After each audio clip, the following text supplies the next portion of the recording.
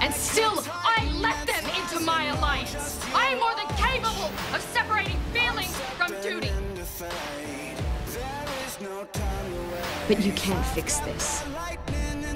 I have to do this on my own.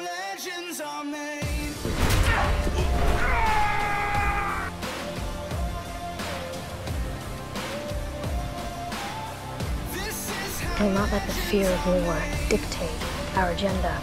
Would anyone else care to question my decisions? Then he dies for you. You're the one who burned 300 of my warriors alive. I want your people to become my people.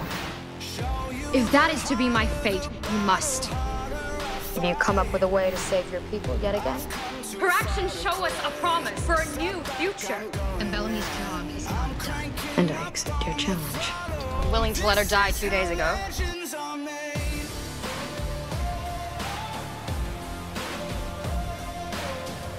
And you're willing to risk everything on that?